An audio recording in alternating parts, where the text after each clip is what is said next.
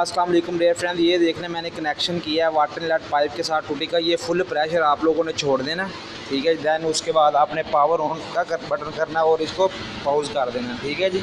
ये देख सकते हैं आप लोग वॉश करने के बाद ये पानी लेना स्टार्ट हो